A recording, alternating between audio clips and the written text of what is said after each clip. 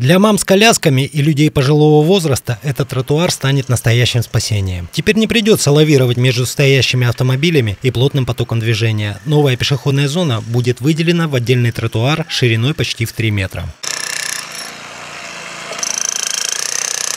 В минувшие выходные сотрудники Ремстроя сделали разметку и распланировали место проведения работ. Сейчас полным ходом идет установка бордюров. Кстати, вес одного блока более 100 килограмм. Такое мощное ограждение специально применяется в зоне, где высока вероятность повреждения тротуара от автомобилей. Теперь будущему пешеходному бульвару ничего не грозит. Чуть позже строители уложат плитку. Длина нового тротуара составит около 70 метров.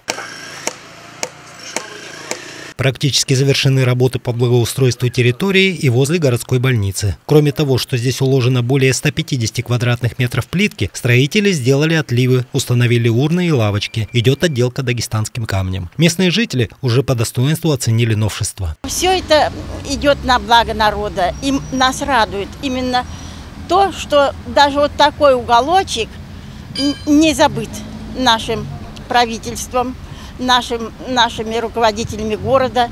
Большое им спасибо от лица всех жителей этого уголка, от лица пенсионеров и малышей, с которыми можно теперь легко гулять, дышать воздухом. Этот уголок стал одним из интересных уголков нашего города. Но, наверное, самое главное, здесь ликвидирована стихийная стоянка таксистов. Теперь кареты скорой помощи могут беспрепятственно проезжать на территорию городской больницы, а врачи своевременно оказывать оперативную помощь в стационаре города-курорта.